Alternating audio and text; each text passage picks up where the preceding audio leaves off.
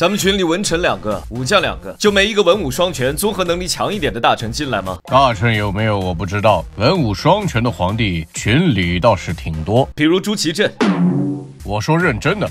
像永乐帝、宣德帝都是能挥毫怒墨、御驾亲征的。怎么是我不配？大哥，你这文化水平就别说了，认识的那几个字还是我教你的。你闭嘴，蒸鹅还没吃够呢。吃，我继续吃。反正说我吃蒸鹅毒发的是野史。太祖爷戎马孔总，文化一般很正常。成祖爷文化水平，我有点怀疑。嗯，孙子，你怕是忘了永乐大典是谁修的？我只是提出一点点质疑嘛。我个人文化水平不行的话，能主持国家文化工程。我大哥就是留学毕业了，属于毕业生进人才市场，没事找事。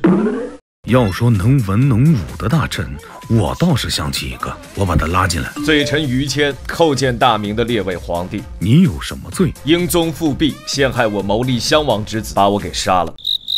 就连隔壁的钱小四都知道于谦是真忠烈，还给他提起了担心抗节的匾额。朱祁镇，你糊涂啊！我看朱祁镇不是毕业生进市场，是生了锈的铁针子，欠打。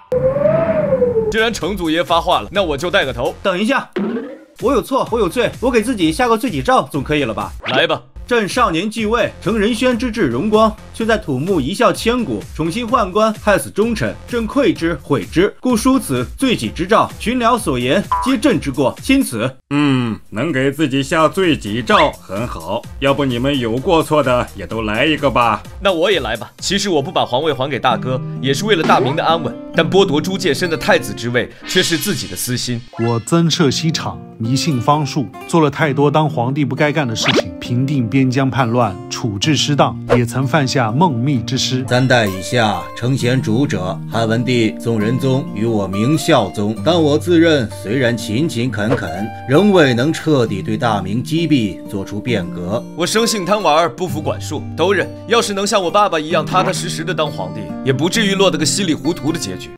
不理朝政，迷信方士，浪费名利，南倭北虏，都是我的过错。要说大明王，实在是亡于家境。我将正式委任徐阶、高拱、张居正，任用谭纶、戚继光、王崇古等帅才，实现了隆庆开关和俺答封贡两件大事。但自己沉迷享乐，地道不彰，落得个在后世名字都错了的尴尬境地。我不该这么贪财，天下都是我的，我还抠抠搜搜的，实在有损帝王气概。我替我爸爸也说了，我俩确实啥正事都没干，我还沉迷木工，把烂摊子丢给我弟崇祯，对整个大明的贡献就是多了两个皇帝，外加一个魏忠贤。我留给了世人一个大明王朝刚烈不屈的背影，但那又怎么样？说到底，我还是一个失败的亡国之君啊！我游戏人生，打崩了南明的大好开局。我格局不大，在危难之时还想着争权夺利。我总是寄希望于外人帮助，就没想过自强不息。我感觉我没什么错吧，错就错在锻炼身体太少，死得太早，没能替爸爸延续盛世的辉煌。那我的错就是死得更早了，让朱祁镇少年登基，年轻热血，没有把握好自己。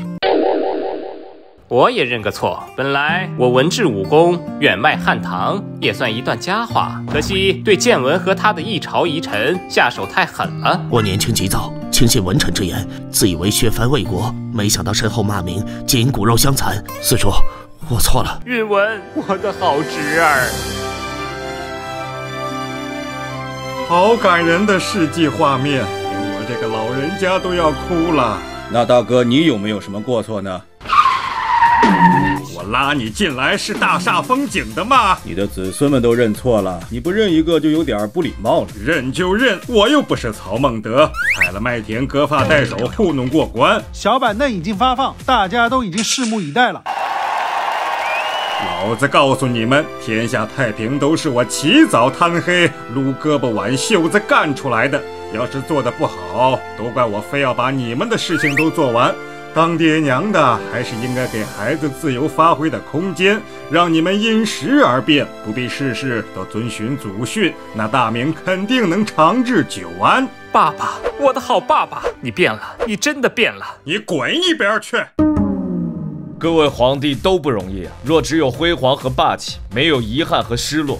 我大明三百年煌煌史册也就不那么引人入胜了。你是真纪检委员呐！那是当年二叔起兵谋叛的时候，于谦随我亲征，以刀笔为兵，骂得二叔抬不起头。都过去了，现在大家冰释前嫌，我们的目标都是以民为傲，让汉家江山永固。好，杀尽江南百万兵，腰间宝剑血流星，怀右布衣，中兴华夏，草莽英雄再造玄黄。依稀永乐年，征马司朔方，开拓海疆，扬威万里，中原天子不让天骄。高衣观今乡中老，高歌取醉岳阳楼。与父同为人君两代，千古留名盛世美谈。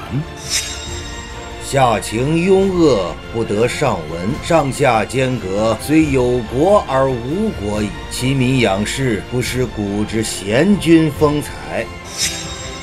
农家万宝收成后，十里遥闻何属乡？若是能休养生息，或可成就汉文遗德。九人地势皆垂泪，乃是先朝万历前留一个仁恩浩荡、恭顺者无困不源、义武飞扬、跳梁者虽强必露的强悍背影。天堑不经一代线，江流难刷降帆尺。开局一个破碗，结局一根麻绳，屈膝苟活永远不是君王的归宿。三年羁旅客，今日用难怪。无限山河泪。谁言天地宽？兴亡起落，旧朝遗恨，终归长河东流。